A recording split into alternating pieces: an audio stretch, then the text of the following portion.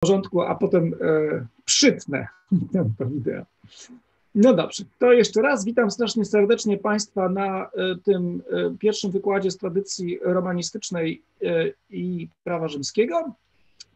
Będziemy się spotykać przynajmniej w pierwszym semestrze w tej formie, jak Państwo widzicie, to znaczy dla tych, którzy będą chcieli za pośrednictwem bezpośredniej transmisji spotkania w aplikacji Zoom.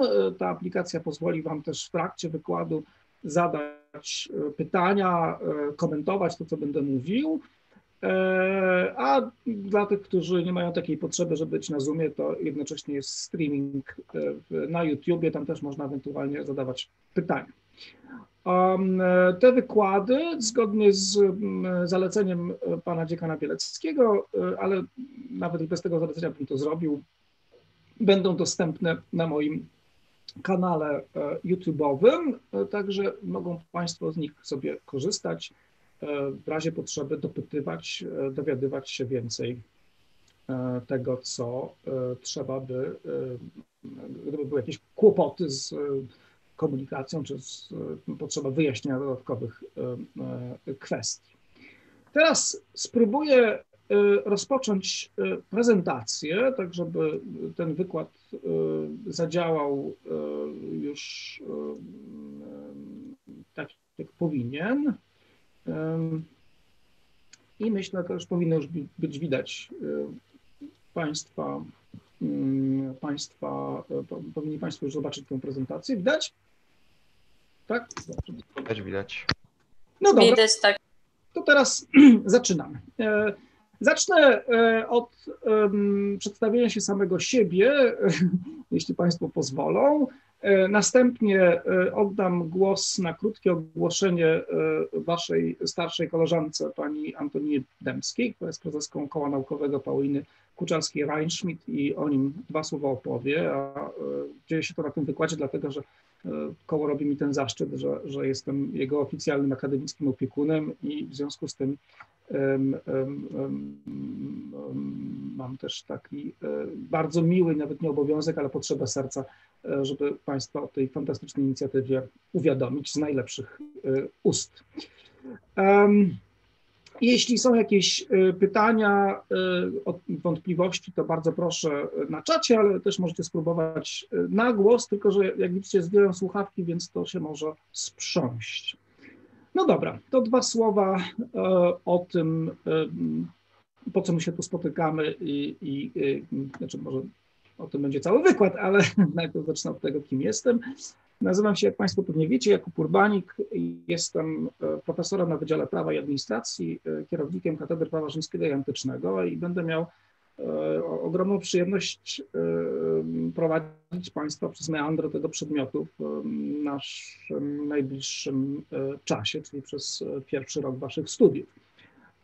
Z powodów pandemicznych wykład będzie się odbywał online, przynajmniej w pierwszym semestrze. Miejmy nadzieję, że opatrzność nas od, uwolni od tych niespołecznych okoliczności, że będziemy się mogli spotykać na żywo e, w jak najszybszym czasie, ale na razie jest jak jest. E, ja się zajmuję e, prawem rzymskim, ale przede wszystkim zajmuję się prawem antycznym, a przede wszystkim w tym prawie antycznym prawem, praktyką prawną w Egipcie greckim i rzymskim, papirusami, więc ta część nazwy katedry prawa antycznego to, to, to ja. No ale coś tam o prawie rzymskim też wiem i będę Państwu o tym sobie opowiadał. Zanim e, przejdę do e, właściwego e, trybu wykładu, w charakterze jeszcze krótkiej autoprezentacji, chcę powiedzieć, że ten wykład no, będzie w zasadzie o tym, dlaczego się uczymy nadal prawa rzymskiego i po co nam takie dziwne ramoty we współczesnym świecie.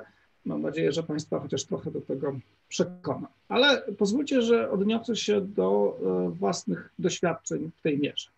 Dawno, dawno, dawno temu, za siedmioma górami i lasami, e, e, jak zaczynałem studia, nie byłem bardzo głęboko przekonany do studiów prawniczych. Wydawało mi się, że no, to był trochę taki wybór poczyniony trochę za mnie, któremu się podporządkowałem. Chciałem iść na MISK, studiować historię, a wyszło jak wyszło. No i byłem przekonany, że prawo to w ogóle jest najgorszy dopust Boży, jaki może spotkać młodego studenta czy studentkę. I w związku z tym od prawa uciekałem. Te moje ucieczki skończyły się, jak widać, to znaczy wylądowałem w gronie fantastycznych ludzi, wybitnych naukowców i naukowczyń zajmujących się na naszym Uniwersytecie Prawem Rzymskim, bo mi się wydawało, że to jest najmniej prawnicze, a najbardziej historyczne. W dodatku jakoś tam pozwala mi zgłębiać to, co wydawało mi się lubiłem najbardziej, czyli e, starożytność, dzieje starożytnego Rzymu. No i tam zostałem, jak widać. E, zrobiłem najpierw magisterium, potem doktorat, potem habilitację, teraz e, jestem i uczę tego prawa rzymskiego. Ale też się tak zdarzyło przez tych e, no, dobre dwie dekady, a może prawie i dwie i pół dekady, kiedy prawa rzymskiego uczę i którego kiedy się go uczę, że życie postawiło mnie w takich sytuacjach, w których prawo, którego nie lubiłem na początku, którego, które mi się nie podobało, wdarło się w moje życie z olbrzymią siłą. I te sytuacje, o których być może niektórzy wiecie, e, ale nie o tym chcę mówić, e, nauczyły mnie, czy otworzyły mi oczy na, na coś zupełnie niesamowitego, to znaczy, czego zupełnie nie rozumiałem. Mianowicie, że prawo ma olbrzymią siłę, e, siłę obrony e, ludzi, jeśli tylko jest umiejętnie używane. Że pozwala nam rozumieć świat inaczej niż e, inne nauki społeczne. Niekoniecznie lepiej, ale inaczej. Pozwala nam rozumieć mechanizmy, które rządzą społecznością. Że dobrze użyte może być niezwykle potężną bronią i niezwykle skutecznym środkiem E, zmiany społecznej e, i zmiany i rozumienia świata. I e, dzisiaj, kiedy ludzie pytają mnie, kim jestem, to już nie mówię tak bardzo chętnie, że jestem historykiem czy historykiem prawa, ale coraz częściej mówię o sobie, że jestem prawnikiem. Nie dlatego, że, że mam teraz formalne kwalifikacje, żeby wypełnić zawody prawnicze, ale wydaje mi się, że coraz bardziej rozumiem, jak ważne prawo jest i jak ważne prawo może być dla nas wszystkich. Mówię o tym również dlatego, że e, żyjemy teraz w takim czasie, w którym historia prawa dzieje się na co dzień, wylewa się na ulicę. I nie mówię tutaj tylko o trwającym od 6 lat kryzysie konstytucyjnym, chociaż o nim też. Mówię o sytuacji, e, która dotknęła nas wszystkich od e, marca, czyli mm, sytuacji permanentnego stanu wyjątkowego, mimo że nie jest tak nazwanym, przynajmniej w naszym kraju kiedy naprawdę dobrze rozumiemy, do czego prawo służy i dlaczego prawo stoi na straży e, godności ludzkiej, dlaczego stoi prawo na straży naszego funkcjonowania w społeczności obywatelskiej. Spoczywa na nas olbrzymia odpowiedzialność, na nas prawniczkach i prawnikach, a wy nimi właśnie się stajecie, żeby nie tylko widzieć tę społeczną rolę prawa, rozumieć, do czego prawo służy, ale również przekazywać te informacje, te wiadomości tym ludziom, którzy z różnych względów e, z prawem nie mają do czynienia na co dzień. Bo im się nie podoba, tak jak mnie kiedyś, albo wybrali inne studia, albo w ogóle to nie jest ich poetyk. Tak? My, prawnicy, prawniczki, e, jesteśmy szczególnie uprzywilejowani. No, mi się zdarzyło kilka razy być w sądach, y, nie za dużo w porównaniu takich prawdziwych prawników, ale tam zrozumiałem, jak naprawdę, y, jaką, jak, jak dobrze mnie przygotowały moje studia i to, co później robiłem, do bronienia się przed głupimi pytaniami, do wyjaśnienia e, zasad podstawowych funkcjonowania społeczeństwa. Dzisiaj to zadanie e, ciąży na każdym z nas, na każdej z nas, żeby tłumaczyć czym jest państwo prawa, czym jest praworządność, e, czym są prawa człowieka, żeby e, odnosić się, jak, żeby chronić tych, którzy mogą być wykluczeni, którzy mogą być dyskryminowani. I kończąc już ten może taki zbyt, może niektórym patetyczny,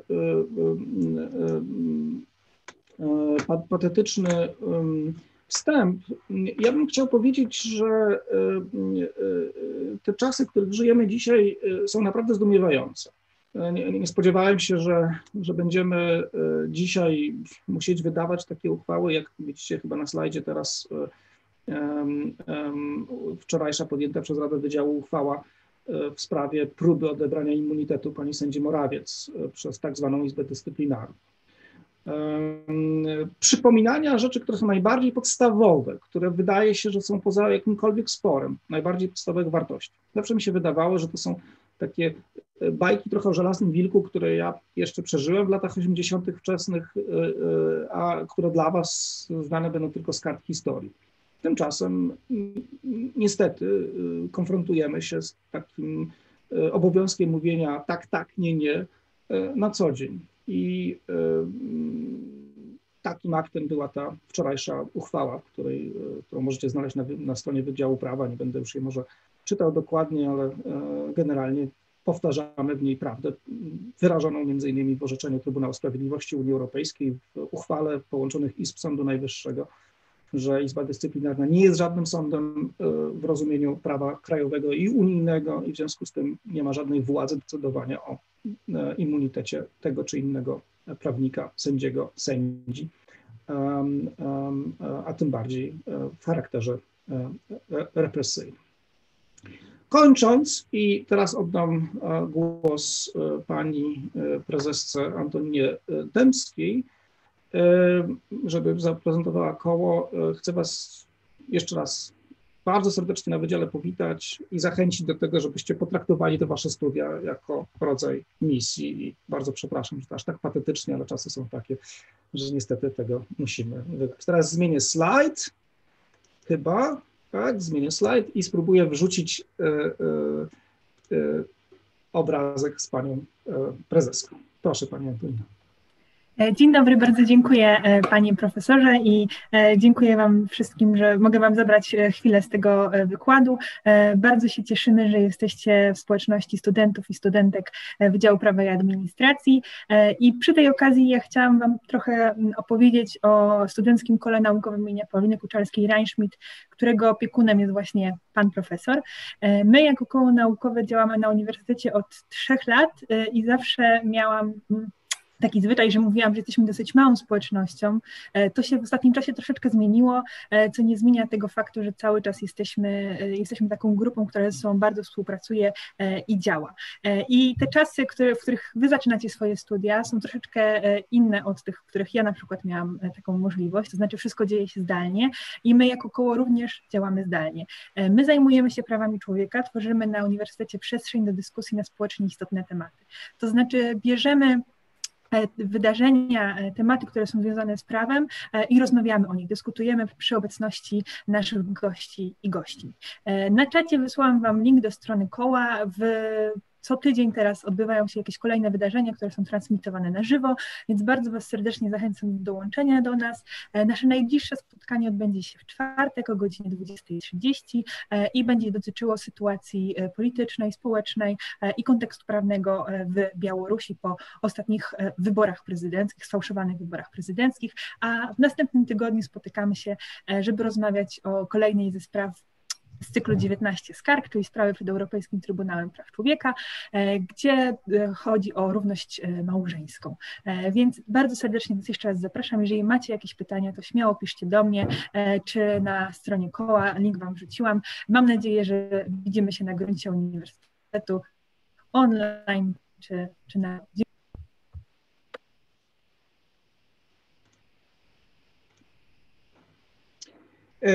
to ja przejmuję teraz e, dalej wykład. Bardzo dziękuję prezesce. E, będziemy, przejdę do wykładu. Pyta mnie Karol na czacie, czy może mnie zapytać.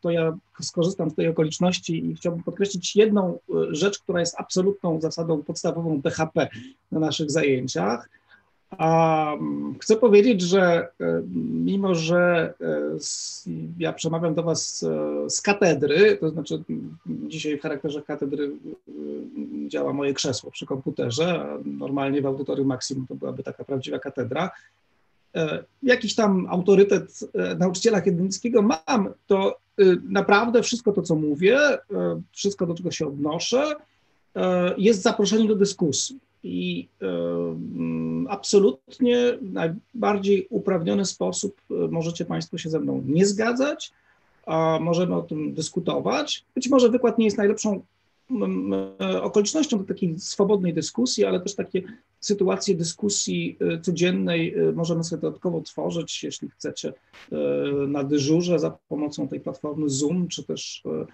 poza dyżurem, jeśli będą takie potrzeby. Także jeszcze raz, nie ma żadnych dogmatów, które będę wygłaszał. Są pewne prawdy naukowe, ale one być może nie są aż takie ważne, żeby być kompletnie niewzruszone. Natomiast najważniejsze na uniwersytecie e, jest to, że wszyscy jesteśmy tutaj wspólnotą. To nie znaczy, że się zgadzamy we wszystkim, to nie znaczy, że jesteśmy e, jednomyślni, ale że potrafimy ze sobą e, rozmawiać. I niezwykle będę wdzięczny za tę Waszą rozmowę ze mną również, a nie traktowanie mnie wyłącznie jako E, e, gadającego misia e, z okienka. No dobrze, teraz zanim przejdę dalej, może pytanie pana Karola, jeśli jest ono jeszcze aktualne.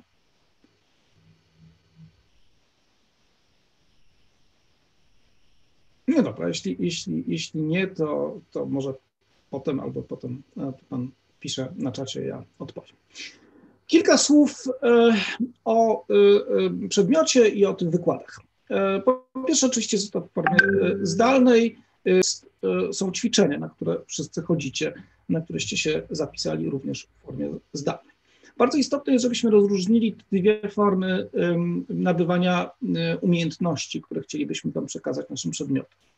Na wykładzie, no to głównie ja będę mówił i przekazywał Wam odpowiednią wedle naszego rozumienia wiedzę.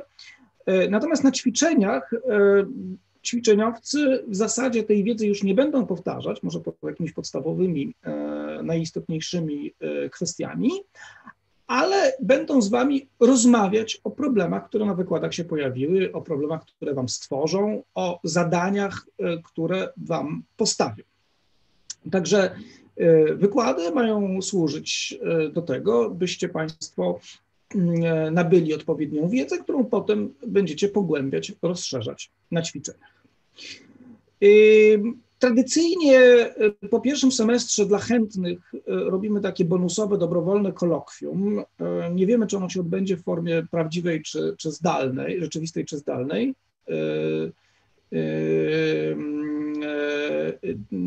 Zobaczymy, jak się to wszystko rozwinie. Natomiast Natomiast jeśli miałaby być co dalej forma pandemiczna, to, to kolokwium odbędzie się po prostu online.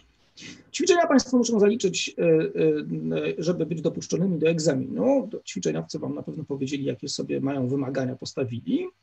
Natomiast samo zaliczenie całego przedmiotu odbywa się w formie tradycyjnie akademickiej, czyli egzaminu właśnie.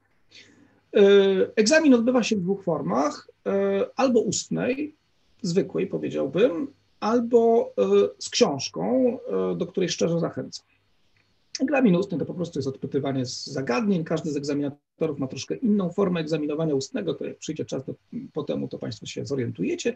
Egzamin z książką polega na tym, że dostajecie Państwo zadania do rozwiązania których e, te zadania będziecie, e, e, rozwiązywaniu zadań będziecie mogli korzystać ze wszystkich materiałów. I tylko tego, czego nie będziecie mieli, to czasu wystarczająco dużego, żeby wszystko z tych materiałów znaleźć, więc część rzeczy niestety trzeba będzie się nauczyć wcześniej.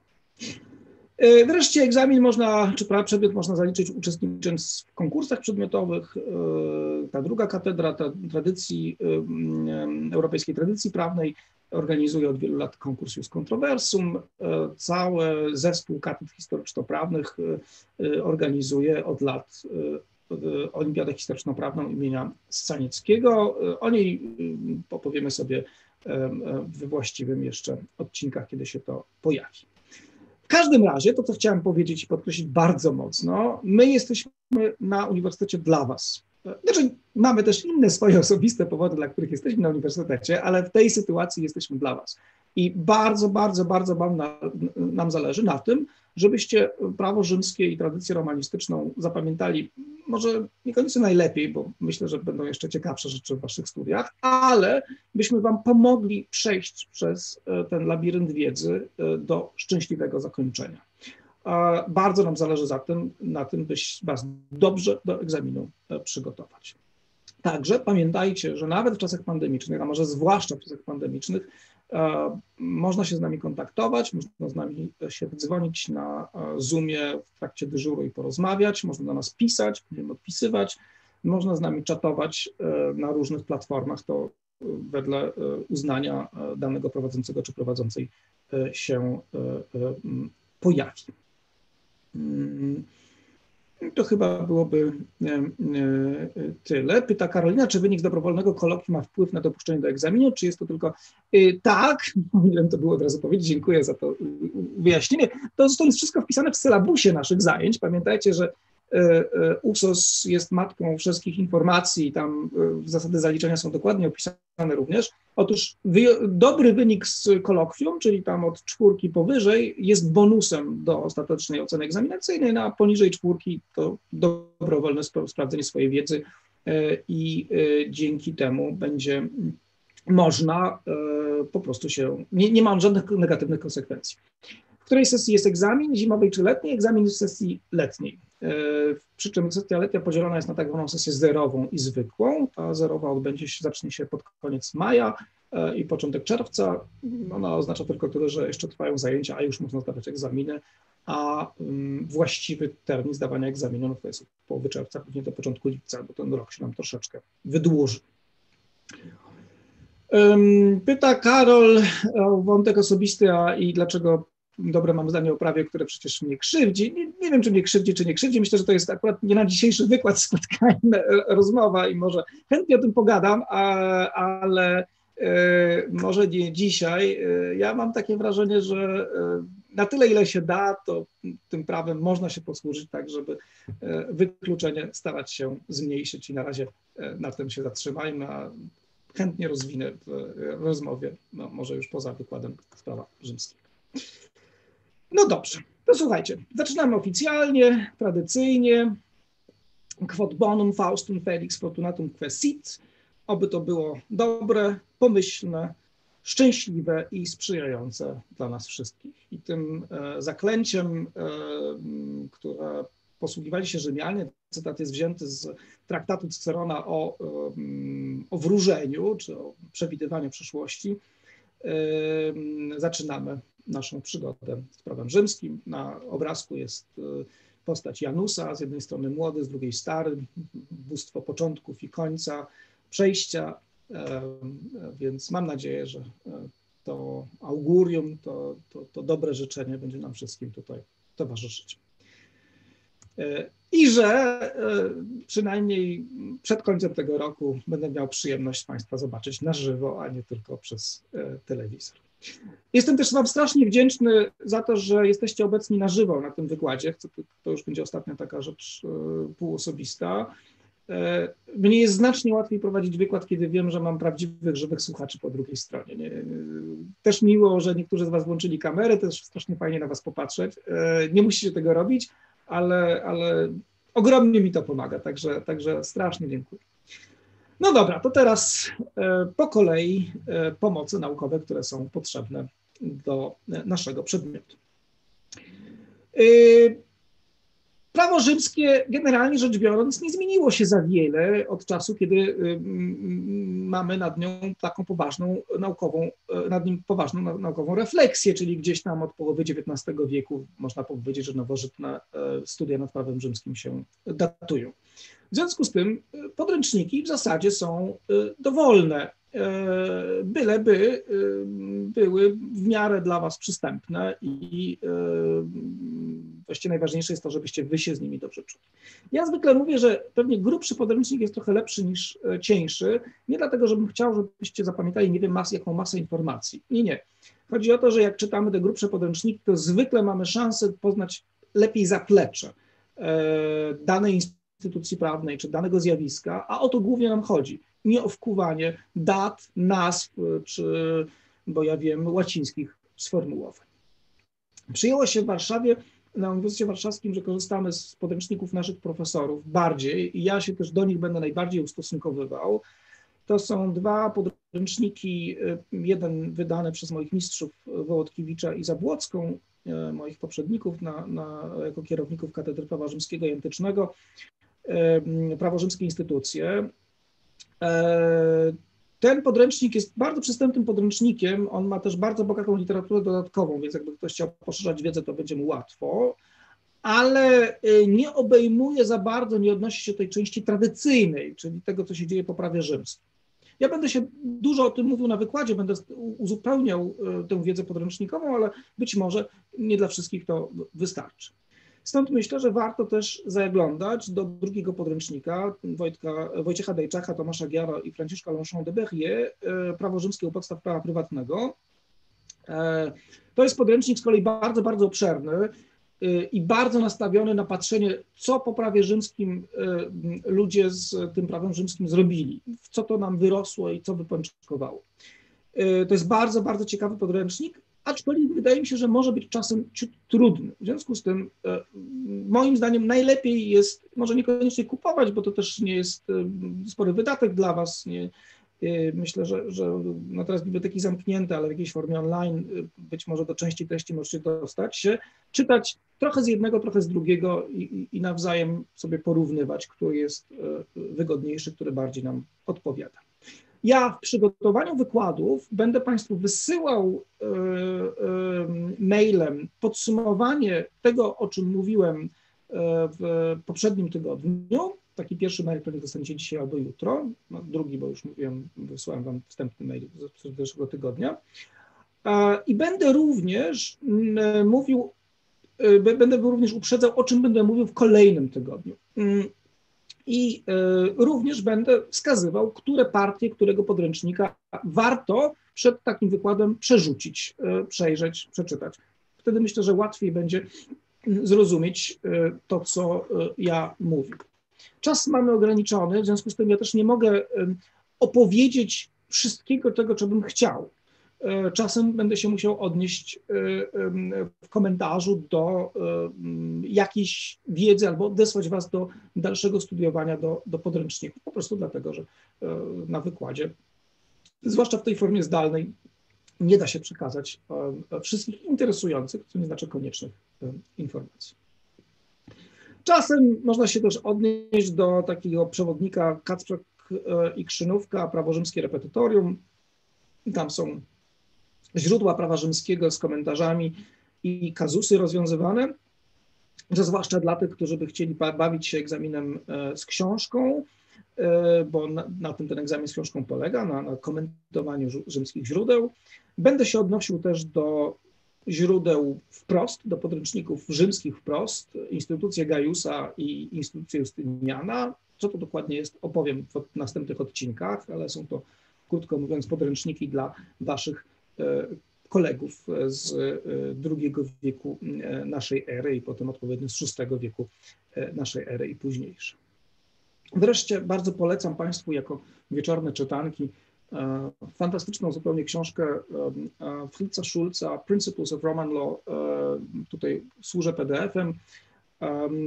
To jest seria wykładów wygłoszonych przez Schulza E, w roku 1933 e, na Uniwersytecie w Berlinie. E, wiecie, co się wtedy w Niemczech działo. Te wykłady zostały natychmiast wydane po niemiecku i przetłumaczone rok później na angielski. No, a Schulz, straciwszy swoją katedrę w Berlinie, on był Niemcem żydowskiego pochodzenia, udało się mu uciec do Wielkiej Brytanii i koniec życia spędził tam w Oksfordzie jako Regius Professor E, prawa cywilnego, a te zasady prawa rzymskiego to taki krzyk intelektualisty przeciwko temu, co się dzieje dookoła, z użyciem, może niespecjalnie e, takim czysto naukowym, ale a bardziej poetyckim, e, znanych mu doskonale źródeł rzymskich. Wreszcie, jako pomoc naukową i pomoc dla Was, chciałbym zasugerować obejrzenie mm, takiego kursu internetowego, który obok tego, co macie w ramach ćwiczeń pewnie na, na platformie Campus się pojawi, czyli egzamin z książką. Tam od odpowiedniego momentu będziemy, będziemy zamieszczać zadania, które będziemy rozwiązywać dla chętnych znowu i pomagać Was nauczyć, jak się przygotować trochę lepiej do tego egzaminu z książką, jak mówię, do którego bardzo zachęcam. Pyta Pani Ola, czy wykład i ćwiczenia obowiązują te same książki, które poleca Pan obowiązkowo zakupić. Ćwiczeniowcy Wam powiedzą, który, czy mają jakieś preferencje podręcznikowe. Ja nie mam, naprawdę. Absolutnie nie chcę Was zmusić do, do niczego, a tym bardziej do zakupu obowiązkowego którejkolwiek książki najlepiej to po prostu zobaczyć, co Wam się najwygodniej czyta, który tekst Wam bardziej przemawia. Niektórzy wolą bardziej skondensowane teksty, inni wolą trochę bardziej oblane wodą y, gęste teksty i jak, jak, jak mówię, Wydaje mi się, że y, melanż y, prawa rzymskiego instytucji i prawa rzymskiego podstaw prawa prywatnego jest dobrym rozwiązaniem, ale może na przykład y, umówicie się z najbliższym kumplem czy kumpelką, że jedno będzie miało jeden podręcznik, a drugie drugi, będzie się wymieniać. To jest, myślę, dobry sposób, który nie wyręży waszej kieszeni, jeśli mogę coś takiego zasugerować. I w ogóle zachęcam was, ja wiem, że to jest trudne, ale zachęcam Was do integrowania się jak najbardziej, nawet jeżeli się nie widzicie na żywo, e, no to mm, Wy jesteście już z tego pokolenia, że tworzycie internetowe społeczności mm, bez konieczności wcześniejszego żywego obejrzenia. Myślę, że, że różne platformy Wam w tym pomogą. Zachęcam do wspólnych rozmów, e, zachęcam do wspólnego studiowania, rozwiązywania problemów. Ja w mojej swojej grupie ćwiczeniowej myślę, że też będę próbował na przykład takie rzeczy Państwu serwować. No dobrze, to przechodzimy dalej.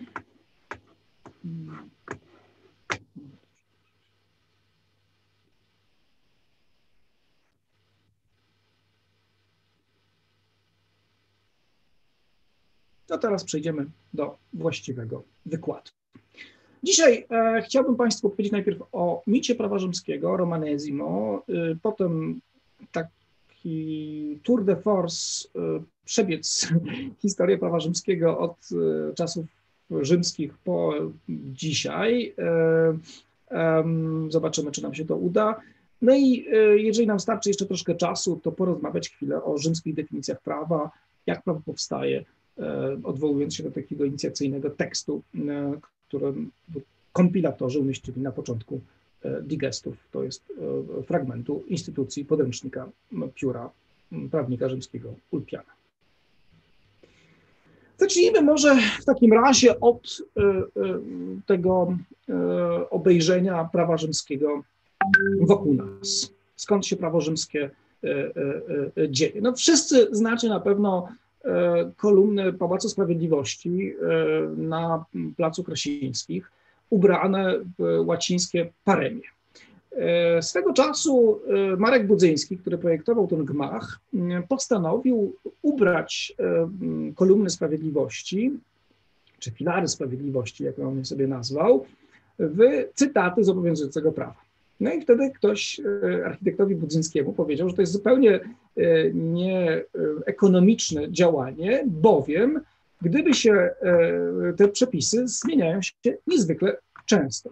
A zatem będziemy musiał, musiano by skuwać i, y, y, i budować ponowne kolumny co jakiś czas i to w ostatnich czasach pewnie bardzo często. Wiecie też również, że jednym z bolączek prawa jest jego bardzo szybkie i niestaranne przygotowywanie, co zwłaszcza ostatnio w czasach pandemicznych widzimy naocznie.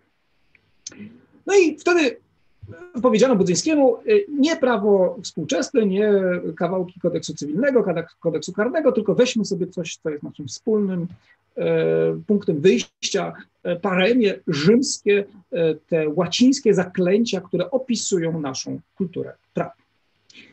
Budzyński zwrócił się wtedy do Katedry Prawa Rzymskiego, kierowanej onegdaj z, przez profesora Wołodkiewicza, no i e, e, zespół, e, który on powołał, wybrał takie najbardziej istotne, naszym zdaniem, hasła skupiające podstawowe zasady prawa.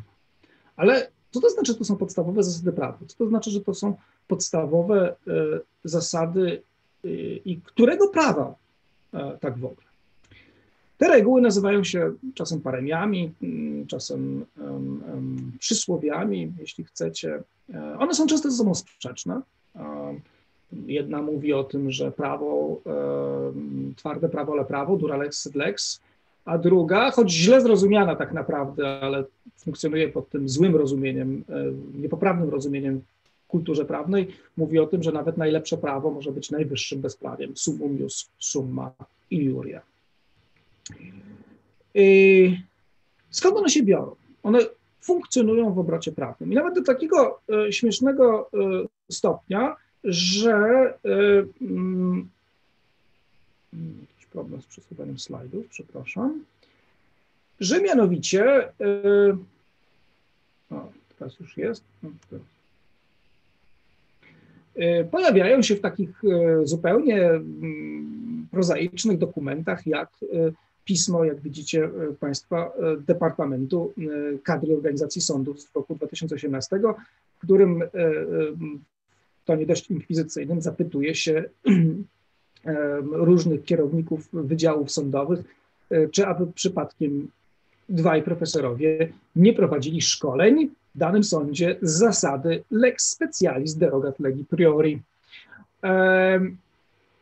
Te pary się pojawiają. Słyszeliście na pewno o e, Lex Agit, e, słyszeliście na pewno o innych e, przypadkach używania tego tekstu. Co więcej, zdarza się również, że prawo rzymskie pojawia się jako rodzaj pewnego wzorca, do którego musimy nawiązywać, tworząc nasze własne normy prawne. I co za tym idzie, jeśli nasze prawo by tym wzorcom rzymskim nie odpowiadało, E, wynika z tego obowiązek natychmiastowego zmiany. Przykładem tego jest na przykład e, słynna sprawa Orlandii i inni przeciwko Włochom, rozpatrywana przez Europejski Trybunał Praw Człowieka w roku 2017, gdzie zdanie mniejszości wyrażone przez e, sędziów, wyrażone przez dwóch mm, sędziów sądzących, E, Wojtyczka i Pejchala e, zostało poparte e, cytatami z prawa rzymskiego, takimi żywymi. Ta sprawa dotyczyła,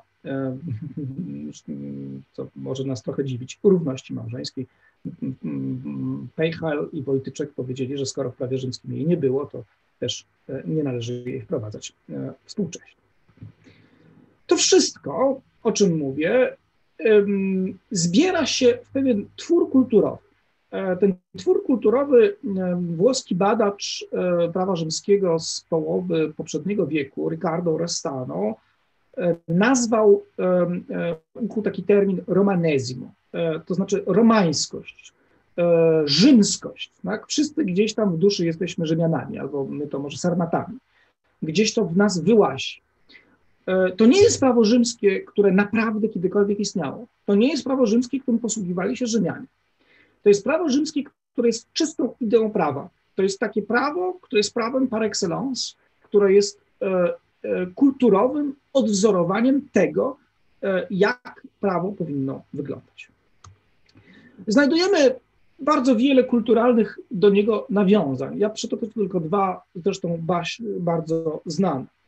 E, w nowelce e, prawo rzymskie przestało istnieć, to znaczy no, jest źle. E, Louis Aragon opisuje historię, mm, która się wydarzyła, czy miała wydarzyć we Francji w czasie okupacji niemieckiej Francji. Tam mamy członków ruchu oporu aresztowanych, i e, niemieckiego sędziego, który ma ich osądzić. Ten sędzia, major von e, Ludwig-Randau, jest byłym nauczycielem prawa rzymskiego. I on odnosi się do tego, co ma zrobić, do tego swojego e, obowiązku jako sędziego, mówiąc, że będzie sądził nie wedle prawa rzymskiego, tylko wedle nowych niemieckich praw. Prawo niemieckie jako podstawa praw współczesnych to sprzeczny z duchem niemieckim oburzający absurd. W tych czasach, tutaj chwilę później, on, on rozmawia ze swoją sekretarką, tak, takie ma monologi. mówi, odnosząc się do słynnej historii spalania Reichstagu i wypuszczenia przez sąd Rzeszczy w Lipsku, to zresztą doprowadziło potem do zlikwidowania tego sądu, Dymitrowa, jednego z tych osób, które były oskarżone o podpalenie Reichstagu, najpewniej nieprawdziwie, z powodów e, jego, jak się wydawało, nie, choroby psychicznej, mówi tak, w tych czasach sądy nasze były jeszcze zarażone prawem niemieckim, rzymskim, kodeksem Napoleona i prawami żydowskimi. Dziś za nic nie, pozwolibyś, nie pozwolilibyśmy Dimitrowowi wyjechać, zostałby skazany wedle prawa niemieckiego. Także widać dokładnie, że to prawo rzymskie jest prawem ludzkim, prawem humanitarnym, prawem humanistycznym, prawem, które e, ma e, przeciwstawić się czystej barbarii e, prawa nazistowskiego. Tak samo zresztą polski poeta Mieczysław Jastrun pisze w wierszu z pamiętnika byłego więźnia obozu koncentracyjnego. Żyłem w latach, gdy mord masowy miał sankcję najwyższą. Państwa, w którym prawo rzymskie przestało istnieć. To okropne, że ludzie zaczęli się przyzwyczajać do faktu, że prawo rzymskie przestało istnieć, że śmierć z ręki kata jest rzeczą pospolitą, a ludzka rzecz jest wymysłem i przesądem wolnomyślicieli. Znowu, moglibyśmy mnożyć te przykłady, e, ich jest cała masa. Skąd ten mit, skąd Romanesimo się bierze? Niektóre teksty prawa rzymskiego rzeczywiście niezwykle wdzięcznie pozwalają się w ten sposób interpretować. Zacznę od tego, do którego być może uda mi się dzisiaj dotrzeć na samym końcu wykładu. To jest y, z samego początku zbioru pism prawniczych wydanych przez, na polecenia cesarza Justyniana, digestów, y, gdzie znajdujemy y, takie wezwanie do, do Was, do, do ludzi, którzy zaczynają swoje studia prawnicze. Poświęcający się nauce prawa przede wszystkim powinien wiedzieć, skąd bierze się nazwa prawo, jus, a nazywa się od sprawiedliwości, justitia, albowiem jak wykwintnie rozgraniczył Celsus, prawo to umiejętność stosowania dobrego i słusznego. Z tego powodu ktoś nazywa nas kapłanami, czcimy bowiem sprawiedliwość i głosimy znajomość dobrego i słusznego, oddzielając słuszne od niesłusznego, rozróżniając dozwolone od niedozwolonego. E, no, bardzo to pięknie brzmi. Czy cokolwiek znaczy? Zastanowimy się e, pod koniec naszego spotkania, albo może już za tydzień, ale na pierwszy rzut ucha e, jest takim mm, misyjnym wyzwaniem dla nas wszystkich. No może trochę się odnosi też do tego, od czego zacząłem nasz dzisiejszy wykład. Prawo rzymskie pełne jest, teksty prawa rzymskiego pełne są odwołań do equitas, słuszności, benignitas, dobrotliwości, humanitas, ludzkości, humanitarności, czy wreszcie e, godności, dignitas. No. E, wygląda fantastycznie.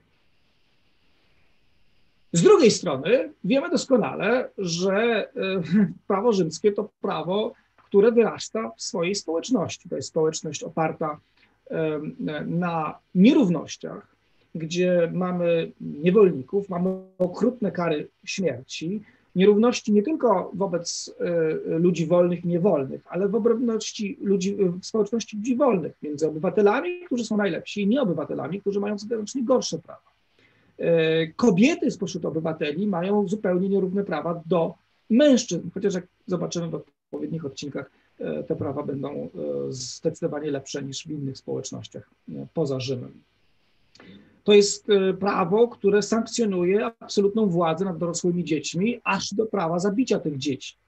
To jest prawo, które mówi e, o tym, że kiedy zostanie zabity e, Rzymianin, to wszyscy niewolnicy, którzy się w tym czasie znajdowali pod tym samym dachem, będą również zabici bez względu na to, na jakim wieku oni byli. Słynna decyzja takiego cesarza normalnie utożsamianego z filozoficznym myśleniem, Hadriana, e, skazuje na śmierć siedmioletniego chłopca tylko dlatego, że e, był świadkiem e, zabójstwa swojego właściciela, a mimo, że oczywiście nie mógł się temu przeciwstawić, żeby wykonać nakaz nieludzkiego prawa. Tortury, kara śmierci. No więc widać od razu, że ta idea, ten mit to nie jest rzeczywistość. On, on, on działa zupełnie inaczej. Dlaczego zatem my się uczymy prawa rzymskiego? Czy dlatego, żeby pogłębiać istnienie mitu, żeby mówić jeszcze raz o tym, że my, Rzymianie, jesteśmy najlepsi, że posługujemy się najlepszym prawem? Na pewno nie, dlatego że my, ci, którzy uczymy prawa rzymskiego, mamy przede wszystkim obowiązek pokazywać, jakie ono naprawdę było, do czego ono służyło, jak funkcjonowało, jak funkcjonowało w właściwym swoim społeczeństwie. Wydaje się, że dzisiaj nauczanie prawa rzymskiego na uniwersytetach może być uzasadnione innymi cechami niż tymi mitycznymi czy idealnymi. Po pierwsze dlatego, że język prawa, o czym być może już daliście się przekonać, jest językiem zawsze sztucznym. To Rzymianie go stworzyli. Prawo rzymskie jest gramatyką prawa. Tak jak pewnie uczymy się czasem gramatyki, przynajmniej w starszych wersjach uczenia się języka, a dopiero potem będziemy mówić tym językiem, tak uczymy się prawa rzymskiego, żeby poznać prawidła, które każdym porządkiem prawnym w podobny sposób rządzą. To Rzymianie stworzyli prawo jako naukę. To z Rzymu wywodzi się jurysprudencja, czyli nauka o prawie. Zobaczymy na następnych spotkaniach, jak to się rozwija, jak od kapłanów biegłych w magicznych i religijnych formułach społeczeństwo rzymskie przechodzi do biegłych jurystów, prawników to oni stwarzają podstawowe, jak powiedział Max Kazor, figury prawne. Własność, posiadanie, zobowiązanie, kontrakt, delikt, testament, czyli wszystko to, co dzisiaj jest naszym punktem odniesienia, kiedy o prawie mówimy. Nawet jeżeli treść tych nazw jest inna niż rzymska, to klatka pojęciowa, w którą tę treść wbudowujemy, nawiązuje mniejszy lub większy sposób, ale zawsze nawiązuje do prawa rzymskiego. I wreszcie, mm, to chyba już oczywiste, Rzymianie stwarzają algorytmy myśleń prawniczych, rozumowań prawniczych. My rozwiązujemy kazusy nadal tak, jak rozwiązywali je Rzymianie. Myślimy tymi kategoriami, argumentujemy, dokonujemy subsumpcji i mm, to im właśnie zawdzięczamy tego typu sposoby rozumowania. No to pytanie, a dlaczego nie zaczynać od razu od prawa cywilnego? Tak się robi we Francji, w Niemczech, w, w innych e, jurysdykcjach. To, że Państwo macie obowiązkowe prawo rzymskie i tradycję romanistyczną, jest pewnym elementem dzisiaj na mapie uniwersyteckiej Europy. W zasadzie e, to głównie południe, czyli Hiszpania, e, Włochy, Austria, Szwajcaria no ale już wcale nie te wielkie romanistyczne, w sensie oparcia o prawo rzymskie, prawa cywilnego kraje, jak na przykład Niemcy czy, czy, e, czy Francja, czy e, kraje, bo ja wiem, takie jak Belgia czy, czy, czy Holandia, które gdzieś z tego źródła tego pnia wychodzą. Myślę, że dlatego, że e, łatwiej się pewnie na prawie rzymskim nauczyć tych rozumowań w pewnym uproszczeniu. E, prawo rzymskie poddaje się daleko idącym uproszczeniom, które pozwolą nam stworzyć rodzaj warsztatu do eksperymentowania. To troszkę tak jak w bajkach robotów jest taka opowiastka o Trullu i Klapaucjuszu, którzy e, stworzyli mini światy na szalce Petriego i sobie obserwowali, jak te mini światy będą ewoluować ta historia nie kończy się najlepiej, bo e, w końcu jeden z mini światów produkuje bombę atomową i strzela, już nie pamiętam czy Trula, czy Kapłciusza, w oko tym e, małym e, pociskiem atomowym. Ale nam to się raczej nie przydarzy. To znaczy, gdybyśmy sfalsyfikowali, gdybyśmy uprościli za bardzo prawo cywilne, to może wam się to niestety utrwalić. A prawo rzymskie, jeżeli je uprościmy i nawet podamy wam wiadomości częściowo fałszywe, tylko po to, żeby był jakiś dany do rozwiązania kazusu, e, to raczej wam krzywdy w tej mierze nie zrobi. No więc chodzi o rozpatrywanie, o tworzenie pojęć prawnych, Chodzi o nauczenie się posługiwania tymi pojęciami, chodzi o zdobycie odpowiedniej siatki pojęcia. Teraz przejdę pokrótce do bardzo e, szybkiego e, pokazania przejścia od momentu, e, w którym pewnie się zatrzymamy w większości naszych wykładów, czyli końca prawa rzymskiego z Justynianem, mm, do czasów współczesnych, pokazania tej historii intelektualnej prawa rzymskiego. Rzecz jest oczywiście bardzo skrócona.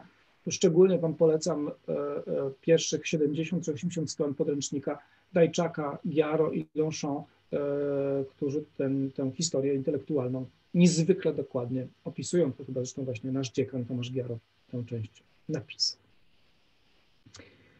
E, punktem wyjścia jest oczywisty. Tak? Mamy e, upadek zachodniego Imperium Rzymskiego, ale królestwa germańskie budowane są na tych rzymskich kamieniach. Do tego stopnia, że, że pierwsi królowie rzymscy, Odoaker, kiedy odsyła E, koronę cesarstwa do e, cesarstwa wschodniego, on nie zdejmuje z siebie zwierzchności cesarza, tylko mówi, że nie chce być poddanym e, małego chłopca Romulusa Augustulusa, tylko chce mieć nad sobą tego prawdziwego cesarza, który rezyduje wtedy w Konstantynopolu.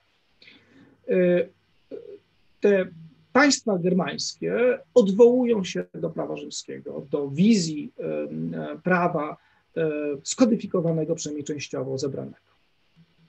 Ale y, wielki skok przychodzi z Karolem Wielkim, z ideą renowacji imperii, odnowienia mm, Cesarstwa Rzymskiego na zachodzie już upadłego. Pisze um, um, uczony Alcuinus z Jorku do Karola Wielkiego, Rzym ciebie oczekuje jako prawdziwego obrońcy.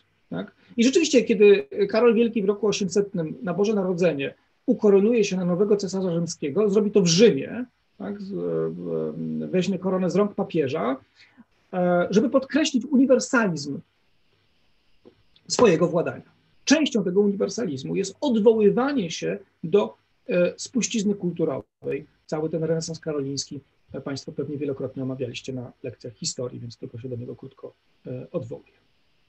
Prawo rzymskie już wtedy staje się częścią projektu politycznego. Ono uzasadnia istnienie władzy cesarskiej. Ono podkreśla jedność, bardzo często e, pozorną, e, różnych, bardzo e, odmiennych od siebie ludów, które zbierane są w Imperium Karolińskim. Zresztą to powróci jeszcze mocniej w takim już zaawansowanym czasie Cesarstwa Rzymskiego Narodu Niemieckiego Fryderyk Barbarossa, który posłuży się opiniami słynnych czterech doktorów w uzasadnieniu swojej władzy, między innymi używając wprost cytatów z prawa rzymskiego, że cesarz stoi ponad prawem i e, że to cokolwiek się e, e, podoba cesarzowi, ma moc prawa. To są zdania, którym się spotkamy w tekstach rzymskich. Czy imię Justyniana w jakiś sposób jest związane z, ze słowem justicja? Pyta Dominik. Nieświadomie, to znaczy to nie jest tak, że on się nazwał Justynian dlatego że e, miał, chciał nawiązać do, ale źródło jest ten sam, to po prostu było istniejące, funkcjonujące imię. Jego poprzednik e, nazywał się Justinus e, i jego następca nazywał się Justinus, w związku z tym to jest imię związane ze źródłosłowem słowa justicja. Co się dzieje dalej? Punktem przełomowym, pewnie gdzieś na przełomie, to my trochę go widzimy też mitycznie, czy on rzeczywiście tak wyglądał, jak nam próbujemy go odtworzyć, nie wiemy, ale e, e, wulgata, czy powszechna wersja jest taka, że w którymś momencie odkryto ponownie digesta, e, zbiór prawa rzymskiego sporządzony na polecenie Justyniana. To się wydarzyło pewnie w XI wieku naszej ery, może troszkę wcześniej. Nie do końca jest jasne, jak ten akt odkrywczy by się znalazł. To raczej nie było tak, że ktoś e, nagle odkrył zakurzony manuskrypt i e, zaczytał się w nim i postanowił go propagować. Po prostu e, te teksty zaczęły ponownie krążyć. Na pewno wiemy, kto fundamentalnie do tego krążenia tekstów się przyczynił. Za chwilę do niego to był Irnerius, za chwilę do niego wróci. Ale Odkrycie digestów, zobaczenie, że są te teksty wspólne, pisane językiem w dodatku, który jest językiem wspólnym po łacinie. Pamiętajcie, że e, królowie germańscy jeszcze w VI wieku naszej ery e, między sobą porozumiewali się, ej, porozumiewali się, kot chciał mi wypić wodę z kubeczka, przepraszam. Posługiwali się i łaciną jako językiem wspólnym. Wcale nie mogli się dogadać. Ktoś, kto, kto mówił po wandalsku, niekoniecznie musiał się porozumieć z, z kimś mówiącym na co dzień po frankijsku. Więc ta, ta łacina i, i, prawo rzymskie stają się mm, spoiwem, stają się widzialnym symbolem e, wspólnoty. No i e, w takim anonimowym tekście e, chwalącym Ottona I, jak wiecie, jednego z najwybitniejszych tych wczesnych cesarzy niemieckich, rzymsko-niemieckich, mówi się tak, bardziej wierzyć powinniśmy autorytetowi prawa rzymskiego niż retoryce. To prawo jest czymś stałym. Tymczasem, musimy o tym pamiętać, choć to dla nas wprost nie wpływa, na wschodzie, w Bizancjum, prawo rzymskie jakby nic się nie, nie zmieniło. Ono jest tylko przepisane na język grecki, um, dostosowywane do um, potrzeb tego zmieniającego się społeczeństwa, ale funkcjonuje dalej. Bardzo często zresztą w Grece używając e, pojęć czysto łacińskich. Te pośrednictwem takich zbiorów jak bazylika, czyli ustawy królewskie, czy nomokanon, E, czyli zbiór prawa, głównie różnych ustaw rzymskich, używany przez e, e, Kościół Wschodni, który dzisiaj nazywamy zazwyczaj Kościołem prawosławnym. Zresztą nomokanon po dziś dzień jest elementem prawa kościelnego Kościoła ortodoksyjnego. Wróćmy na zachód.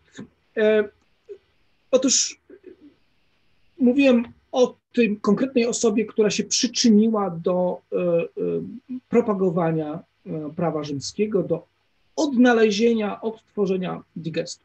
Ten człowiek to magister Irnerius, nazywany zazwyczaj Lucerna Juris, czyli światłem prawa. Pisze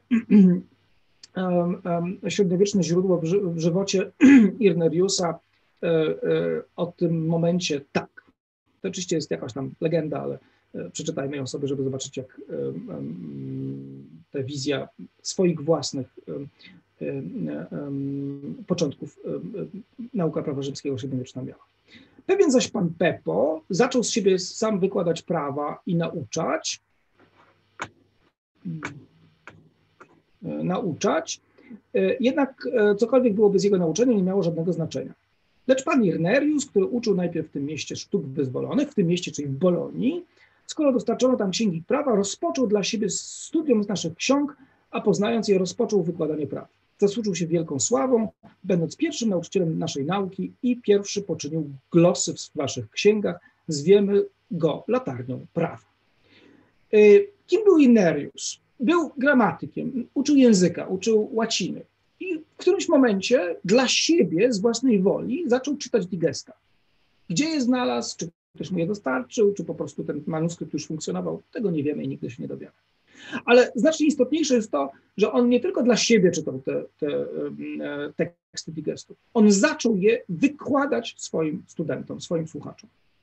A co więcej, zaczął je komentować, pisać glosy, czyli e, e, wracać do komentować to, co wygłaszał.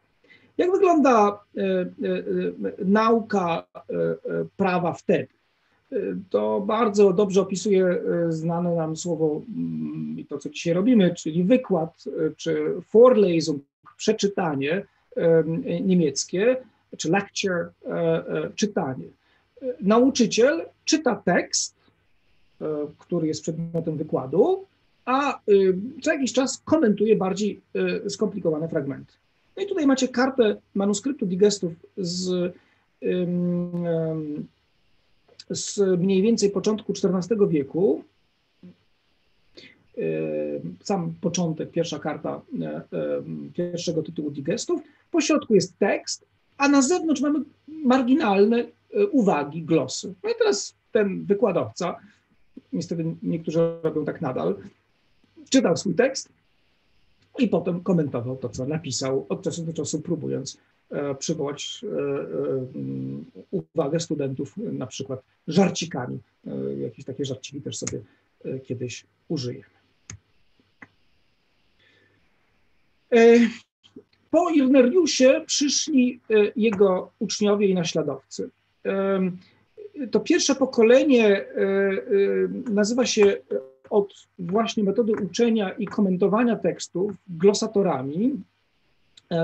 Najsłynniejsi czterej glosatorzy, czterej uczniowie Irneriusa to mm, Bulgarus, Martinus, Ugo i Jakopus, czy Jakob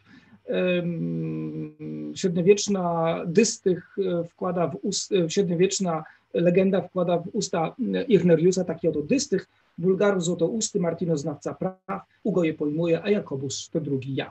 E, Jakobus miał odziedziczyć potem katedrę po Irneriusie. Oni mieli swoich uczniów, ci uczniowie mieli kolejnych uczniów, wszyscy oni uczyli tak samo. To jest też moment, w którym rodzi się uniwersytet, jak widzicie. Alma Mater Studiorum e, Bolonensis, Bolonensis, e, pierwszy uniwersytet na świecie, rodzi się ze zbioru jako e, wspólnota profesorów płaconych przez studentów, opłaconych przez studentów, którzy wykładają im interesujące kwestie. Jednym z nich był Irnerius. To jest jeszcze jeden, nawiasem mówiąc, powód, dla którego tego prawa rzymskiego być może się uczymy. Prawo rzymskie leży u podstaw każdego nowoczesnego uniwersytetu od prawa rzymskiego uniwersytety się e, zaczynają. Z glosatorów myślę, że mm, warto pamiętać i wspomnieć e, poza wieloma innymi, ale o nim szczególnie e, wielkiego Akursjusza, był uczniem Azona. Na obrazku macie grup Akursjusza w, w Bolonii przed kościołem Franciszkanów zebrał i skodyfikował e, komentarze wcześniejszych e, nauczycieli w tak zwaną glossa ordinaria, czyli ogólny komentarz. E, to, co dzisiaj znajdujemy na marginesach wydań digestów jako komentarze, prawdopodobnie wyszło w większości spod pióra Akursjusza. Kolejne pokolenie um, um, nauczycieli prawa, tych, którzy się tym prawem zajmują, przychodzi mniej więcej z końcem XIII wieku, na początku XIV wieku w Italii. To pokolenie tradycyjnie nazywa się komentatorami, jakoby dostarczycielami komentarzy, czy tych, którzy piszą komentarze już, a nie tylko glosy marginalne e, do tekstów autentycznych. Czasem mówi się o nich postglosatorzy, a ja za Tomaszem Giaro chyba najbardziej rzeczywiście lubię ten termin konsyliatorzy, to znaczy tacy, którzy udzielają konsyliów co to znaczy, że udzielają konsiliów? Mają pytania prawne zadawane i z użyciem tych starożytnych tekstów rzymskich próbują rozwiązać codzienne problemy. Tak powstaje, macie dwóch najwybitniejszych pewnie tak zwanych konsyliatorów, Bartolusa de Saxoferato i Baldusa de Ubaldis, y, y, y, sposób włoski, w sposób italski uczenia praw. Mos italicus jura docendi. Na czym on polega? Otóż y, polega on na tym, że y, y, próbujemy dostosować, zrozumieć starożytne teksty rzymskie jako odpowiednie do naszych czasów, jako przekładające się na to, jak prawo należy stosować dzisiaj, jako e, e, relevantne dla naszych dzisiejszych problemów prawnych. Z jednej strony będziemy próbować odtwarzać, co Rzymianie myśleli, z drugiej strony e, będziemy to jednak odtwarzać zawsze w funkcji rozwiązywania współczesnych problemów. Ten myśl, ta, ten, ten prąd zajmowania się prawem rzymskim okaże się niezwykle e, brzemienny dla późniejszej historii prawa, bo właściwie aż po koniec wieku XIX, po wydanie e, kodeksu cywilnego niemieckiego w Niemczech będzie funkcjonować jako pandektystyka, jako uzus modernum pandektarum, jako używanie codzienne współczesne pandektów, czyli digestów. E, w tym samym czasie, kiedy na południe od Alp e, kolejni profesorowie uczą prawa rzymskiego na uniwersytetach i jednocześnie udzielają e, rad swoim klientom, na, połud- na północy Alp, ultramontani, czyli ci, którzy są za Alpami, podzielą się na mniej więcej dwa równorzędne obszary. Na północy kraju Franków rządzić będzie prawo zwyczajowe.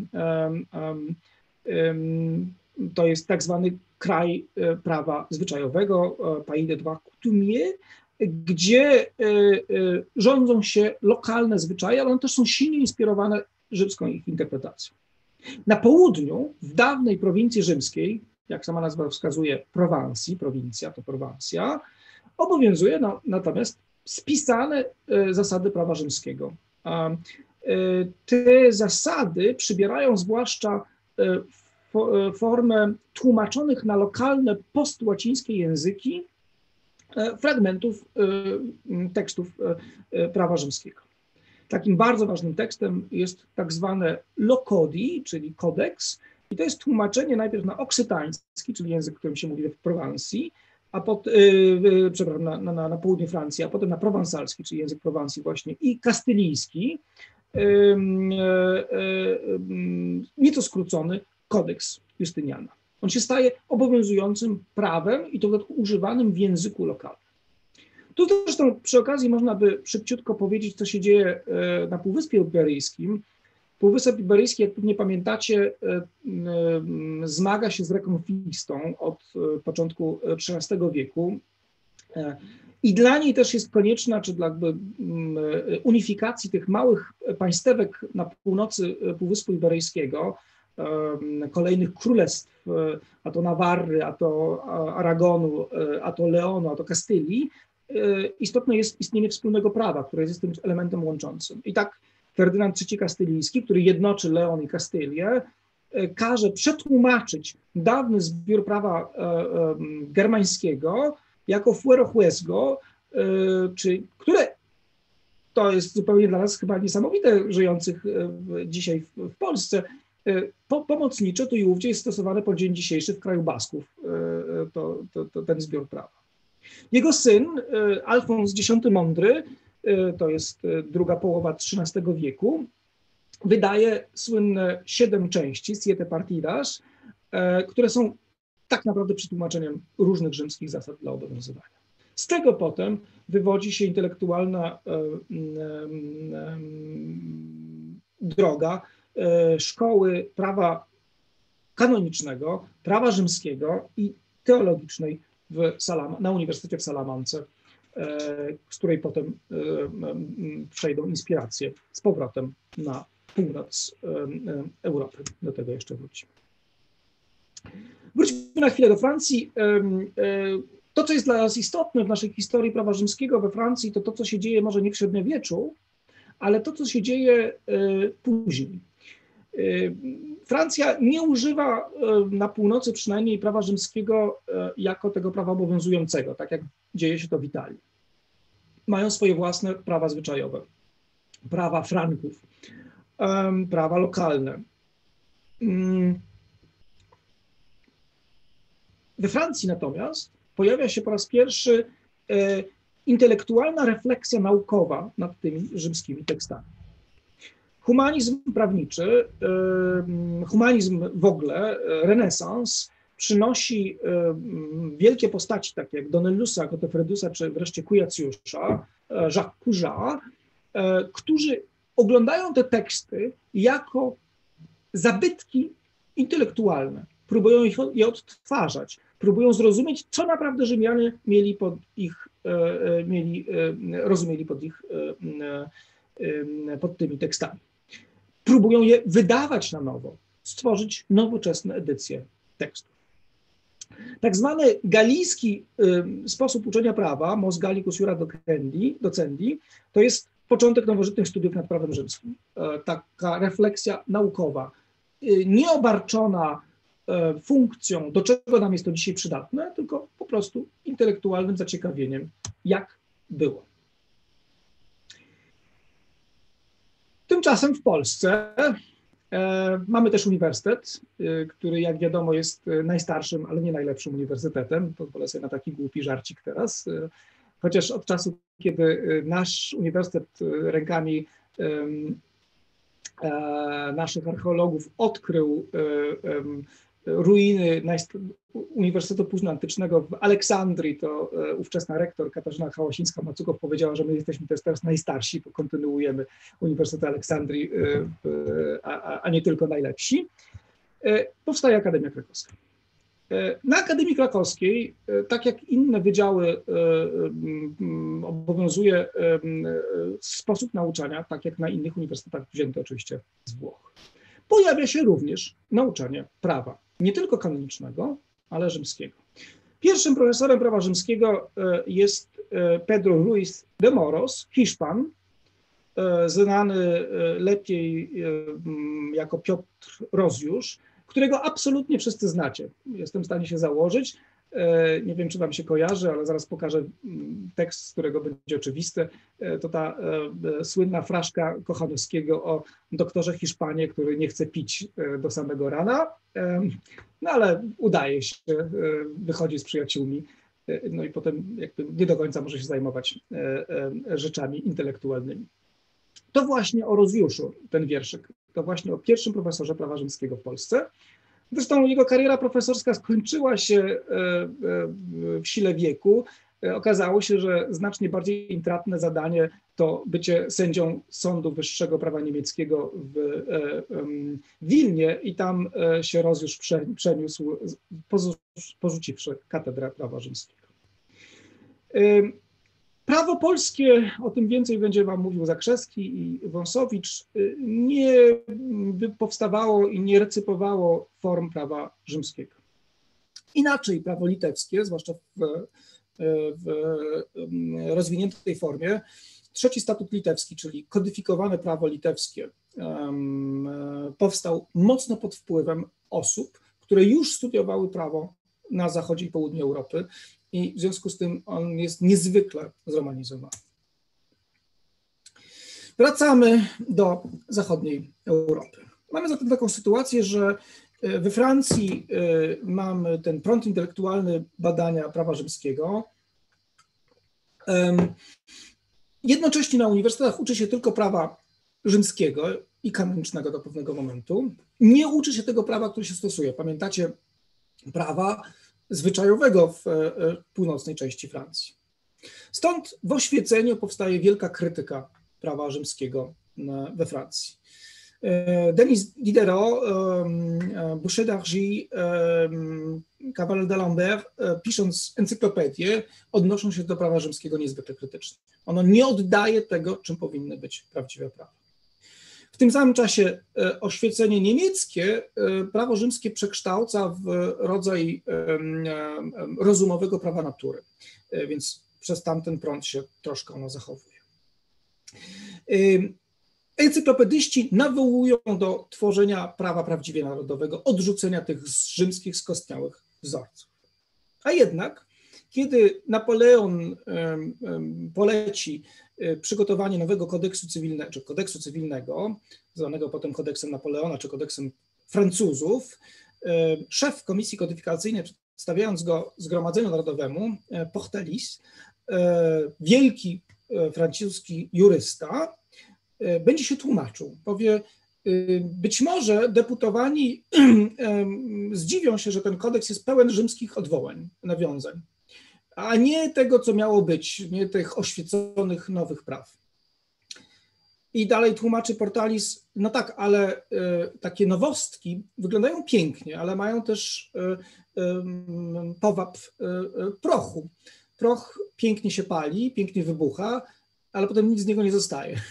Dlatego komisja odwołuje się do dawnych wzorców. I stąd kodeks Napoleona, mimo że czerpie mocno z filozofii prawa naturalnego, mimo że czerpie z e, prądów e, oświeceniowych e, filozoficznych, jest również kodeksem mocno francuskim.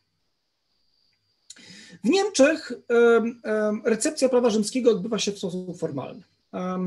Od 1495 roku, kiedy powstaje Sąd Kameralny Rzeszy, dostaje on jako możliwość posługiwania się prawem e, pomocniczym w sytuacji, kiedy mielibyśmy spór prawa albo by nie istniały e, normy w istniejących innych porządkach prawnych, właśnie norm prawa rzymskiego.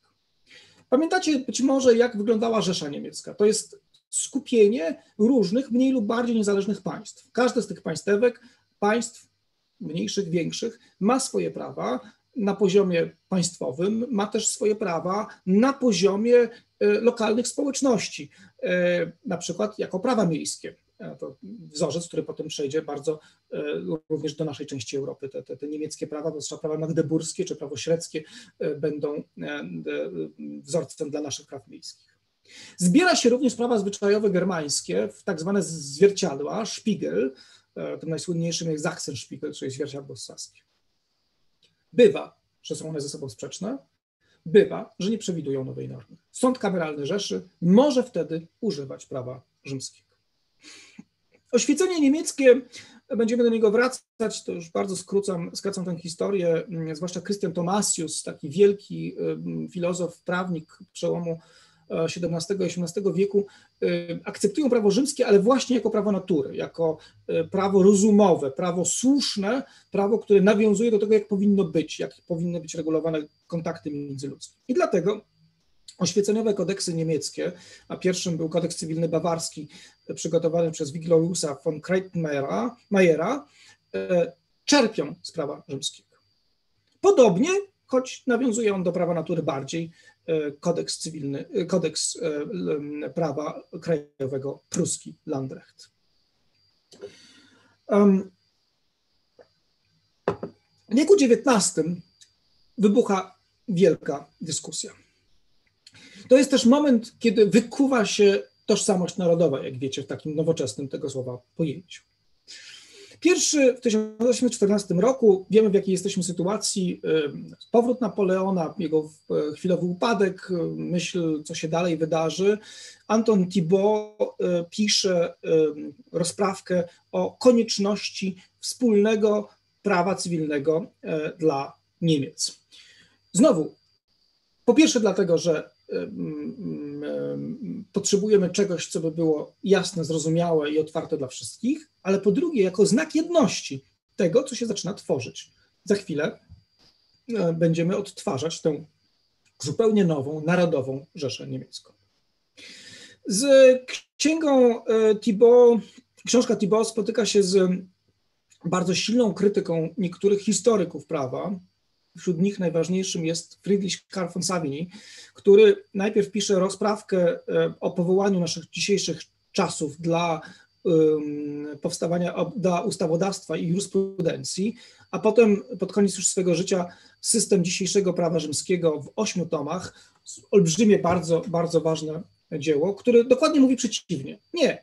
E, prawo jest Mamy już je. To jest to prawo rzymskie, które, na dzisiaj, które używamy dzisiaj. Ono jest przystosowane do naszych dzisiejszych e, e, potrzeb. Ono jest naukowym wytworem w związku naukowo się nim zajmujemy. Nie potrzebujemy żadnych nowości.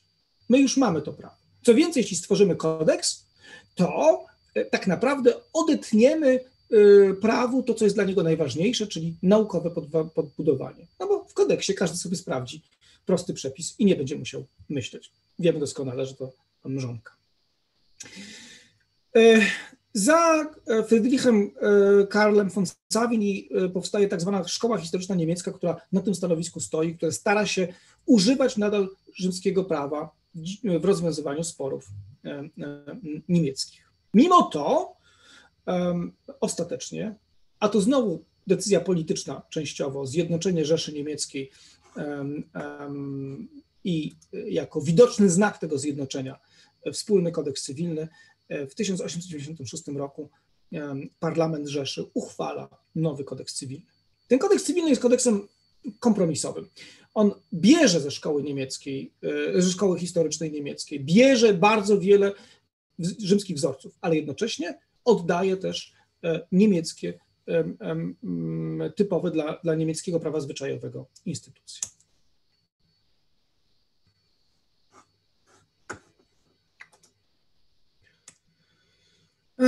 Co w Polsce? W XIX wieku E, mamy taką sytuację, że my nadal, polskie prawo nigdy nie zostało skodyfikowane e, w przeciwieństwie do prawa litewskiego, są tylko nieformalne zbiory prawa. I kiedy zostaje stworzony ten kadłubkowy twór państwowy, jakim było Księstwo Warszawskie, Napoleon, tak jak to zrobił w bardzo wielu innych miejscach, po prostu narzucił e, temu swojemu państwu zależnemu swój własny kodeks cywilny, kodeks cywilny Francuzów. Z tego powodu w 1808 roku powstaje zupełnie nowa szkoła prawa i administracji, która kształcić będzie nowych prawników i administratorów tego księstewka. E, ta szkoła to dzisiaj wasz wydział, Wydział Prawa i Administracji, włączony w 1816 roku do Uniwersytetu Warszawskiego na, jako jeden z pięciu założycielskich jego wydziałów. E, czyli mamy sytuację, w której dokonuje się transplant prawa e, obcego do Polski, nie bez e, problemów, będziemy o tym jeszcze kiedyś mówić, i ono się przyjmuje. Oczywiście lekko dostosowane, na przykład prawo małżeńskie zostaje mocno zmienione w stosunku do świeckiego prawa francuskiego, ale w większości zostaje przejęte. Przycięta zostaje tradycja. My nie mamy nic dzisiaj w naszym prawie w nawiązaniu do dawnego prawa szlacheckiego i nieszlacheckiego polskiego, nasza tradycja zaczyna się na początku XIX wieku. W Galicji z kolei kodeks cywilny austriacki e, zostaje wydany. On jest jednym z tych kodeksów, jak kodeks Napoleona, biorącym z prawa natury i z prawa rzymskiego. E, w Wielkopolsce najpierw Landrecht pruski, potem kodeks cywilny niemiecki. Wreszcie w części zaborczej rosyjskiej jeszcze będzie działać swod zakonów, który też wbrew pozorom był inspirowany częściowo prawem rzymskim. Kiedy w 1918 roku Polska się jednoczy, odnawia, powstaje z zaborów, wspólne prawo ma być też jednym z widocznych znaków zjednoczenia. Powstaje komisja kodyfikacyjna. E, jej e, rocznicę obchodziliśmy w zeszłym roku, okrągłą. Takich 40 mężów, bo to sami mężczyźni byli, a wśród nich e, Stanisław Wróblewski, zwany często polskim papinianem. Kodyfikatorzy muszą połączyć te dziwne, wyjęte z różnych porządków prawa systemy, ale one mają wspólną inspirację w jakiś tam sposób. To jest prawo rzymskie. No i ta kodyfikacja jakoś też na tych rzymskich myślach będzie szła. Jak wygląda kwestia prawa rzymskiego dzisiaj? Um, są kraje, w których prawo rzymskie stosuje się e, nadal, e, chociaż w formie niezwykle mm, zmienionej, tak? W Szkocji częściowo jako civil law, e, w Republice Południowej Afryki jako rzymsko-holenderskie prawo wywodzące się z tradycji tak zwanej eleganckiej holenderskiej jurysprudencji. To jest e, myśl, którą zapoczątkują e, Grocjusz, a potem, który, który staje pod wpływem Grocjusz, a potem jednym z jej wybitnych przedstawicieli był Johannes Fott. To jest pomysł, o którym już mówiłem, zracjonalizowania prawa natury w ten sposób, że uznajemy, że e, jest to prawo najlepsze rozwiązujące nasze e, środowisko, rozwiązuje problem naszego środowiska. Ale myślę, że znacznie ważniejsze dla dzisiejszej historii prawa rzymskiego jest to, o czym już trochę mówiłem wcześniej, to znaczy jego mm, rola kulturotwórcza i rola porównawcza. Dzisiaj obserwujemy y, mm, bardzo często formy tworzenia prawa bardzo podobne do tych, które się działy y, gdzieś pod koniec mm, rzymskiego państwowości. Cała masa źródeł prawa, e, dekoncentracja źródeł prawa, e, prawo, które już nie jest prawem skodyfikowanym. Mówi się dzisiaj o procesie dekodyfikacji. Prawo rzymskie pokazuje nam, jak e, w sytuacji, w której nie mamy kodeksów, nadal dość skutecznie możemy się systemem prawnym e, posługiwać. I wreszcie prawo rzymskie, które jest być może pomocnym łącznikiem pomiędzy e, prawem e, różnych porządków, nie tylko obecnych w dzisiejszej Europie, common law i prawem kontynentalnym, ale również pomocnym łącznikiem pomiędzy różnymi tradycjami prawa kontynentalnego.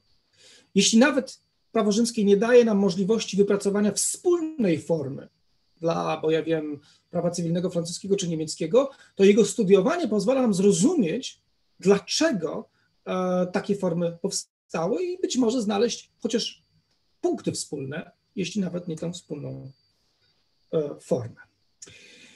E, także myślę, że to na dzisiaj by wystarczyło. Za tydzień, za chwilę zapytam pana, Państwa jeszcze, czy są jakieś pytania, za które chętnie odpowiem. za tydzień zaczniemy od definicji prawa. Jak widać, nie zdążyliśmy z nimi dzisiaj, ale mm, zaczniemy za tydzień, nie ma problemu, a potem zastanowimy się nad źródłami poznania prawa i źródłami prawa. Będziemy się zastanawiać nad czynnikami kształtującymi prawo w, we społecznościach między religią, magią a zwyczajem. Wreszcie jeśli nam czas starczy, spróbujemy przedstawić historię najstarszych źródeł prawa rzymskiego, to jest e, e, czasy królewskie i początku e, republiki. Czy są jakieś pytania?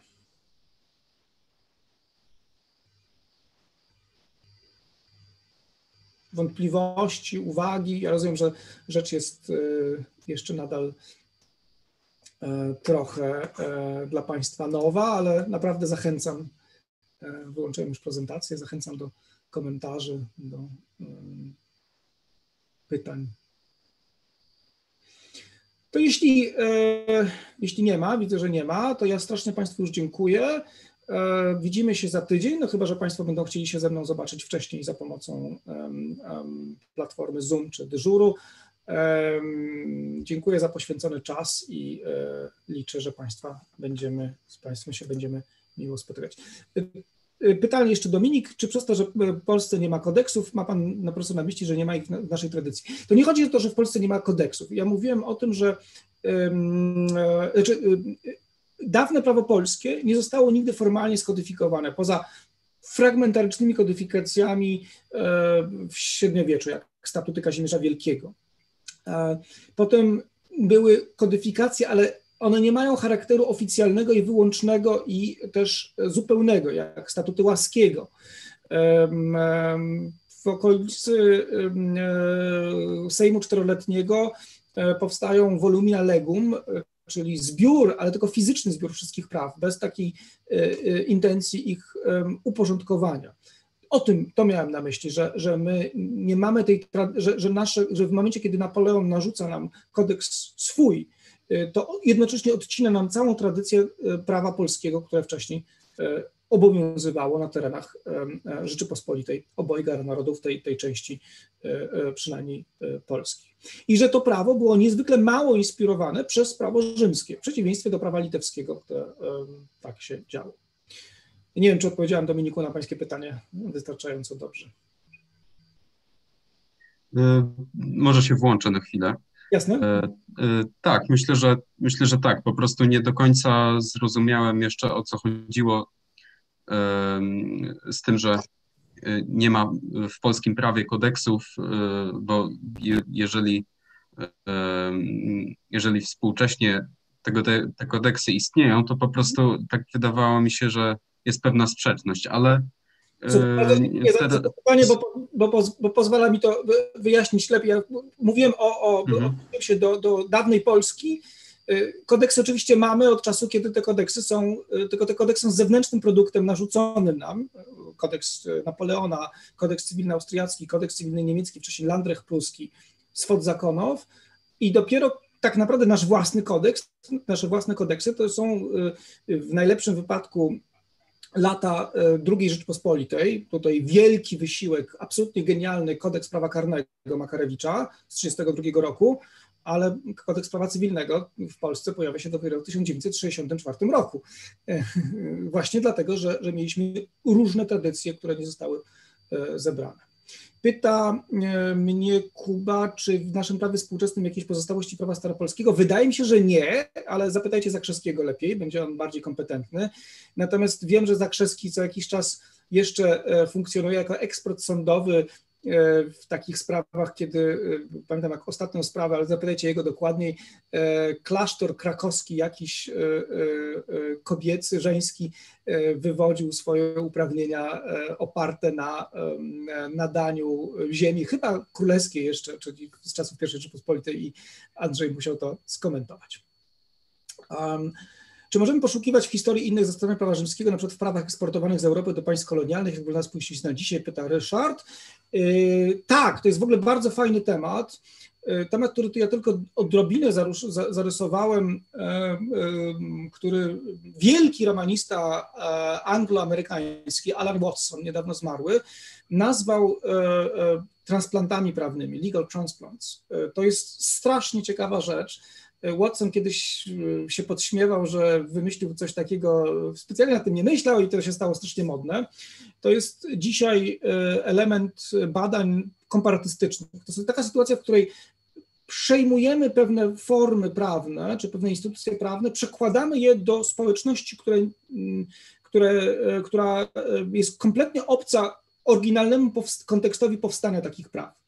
E, przykład transplantu kodeksu Napoleona do Księstwa Warszawskiego jest bardzo dobrym przykładem naszym, ale takich przykładów jest więcej, y, bo ja wiem prze, przeklejenie kodeksu y, cywilnego szwajcarskiego do Turcji. Po dziś dzień w Turcji y, y, cytuje się wyroki Sądu Najwyższego y, Konfederacyjnego Szwajcarskiego y, jako autorytatywny sposób wyjaśniania, czym kodeks szwajcarski jest, bo on został przez przez Atatürka po prostu przepisany na turecki.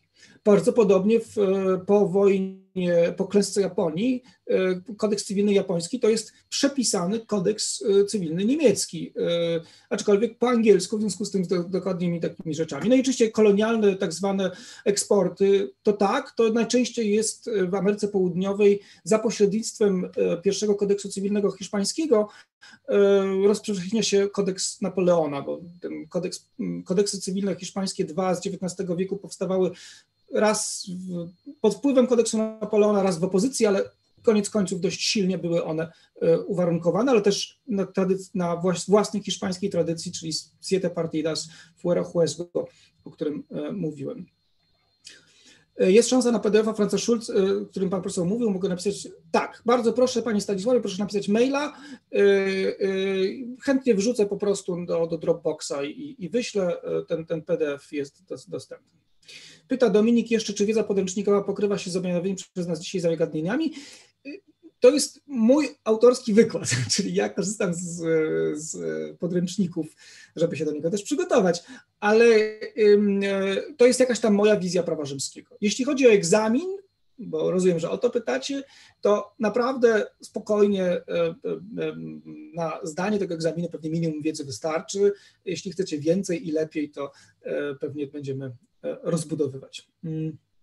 Pyta Kacper, e, czy dzisiejsze zagadnienia historyczne będą rozszerzone w przyszłości? E, tak, tak, będą, będą. Dzisiaj to było taka tylko tour de force, żeby zrobić nam wstęp. Ja do tego wrócę, a częściowo do tego wróci Marek Wąsowicz i Andrzej Zakrzewski na swoim wykładzie o ewolucjach, dlatego że ja trochę opowiedziałem też za nich e, wstęp tej, tej historii. Pyta Paweł, mówi się współcześnie o dekodyfikacji prawa, jakie konkretne zmiany o tym świadczą. Na przykład o tym w Polsce, że bardzo wiele kontraktów czy umów regulowanych jest poza kodeksem. Albo jeszcze lepiej, i to w kontekście prawa rzymskiego jest niezwykle ciekawe, że e, mamy napływ norm spoza naszego własnego systemu prawnego, takie jak prawo europejskie, które w bardzo większej, dużej e, mierze jest prawem nie tylko pozakodeksowym, ale ono jest też prawem y, wytwarzanym y, w drodze decyzji sądowych, tak? bo y, materialne prawo Unii Europejskiej opiera się w dużej mierze na rozwiązanych przez Trybunał Sprawiedliwości Unii Europejskiej, a wcześniej Trybunał Wspólnot Europejskich, kazusach. Mówi się też o coraz większym znaczeniu soft law, czyli takich norm, które nie mają e, charakteru bezwzględnie wiążącego, ale mają charakter, no dobrze było, gdybyś się zachowywał tak czy inaczej, tak, się zachowywała tak czy inaczej. To wszystko bardzo jest podobne mechanizmom prawa rzymskiego, o czym będziemy mówić szerzej w przyszłości. I Kamil, czy można zatem rzec, że prawo II Rzeczypospolitej i następcy są kontynuatorami prawa danego przez Napoleona i porządek prawny Rzeczypospolitej oboga narodów został odcięty wraz z wprowadzeniem kodeksu? Ja myślę, że to jest y, bardzo drastycznie postawione y, y, zdanie, ale tak, E, może Andrzej Zakrzewski ze mną się nie zgodzi, e, nawet myślę, że będzie fajnie, jak mnie skonfrontujecie z nim na jego wykładzie. Natomiast e, ta tradycja prawna dawnej Rzeczypospolitej w Polsce jest odcięta i zastąpiona przez kodeksy, nazwijmy je sobie zaborczymi, ale bez, bez wartościowania tutaj tego słowa zaborca, czyli kodeks Napoleona, kodeks cywilny niemiecki, a wcześniej Landrecht pruski, kodeks cywilny austriacki. W II Rzeczypospolitej tak naprawdę współdziałało pięć równocześnie porządków prawa cywilnego.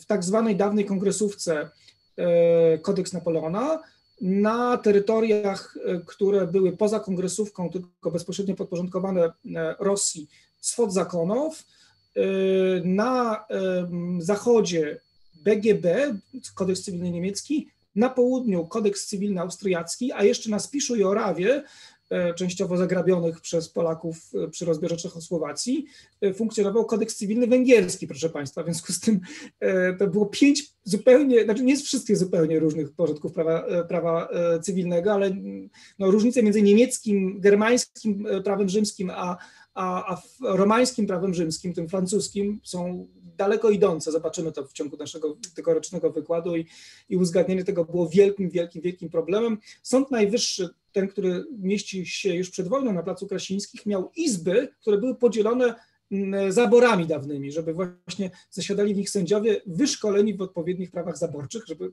rozwiązywać je wedle tych, tych, tych e, sytuacji. E, czy jakieś jeszcze pytania? No to jeśli nie, to bardzo Państwu dziękuję. E, zakończę e, ten streaming. E, zapraszam do kontaktu. Strasznie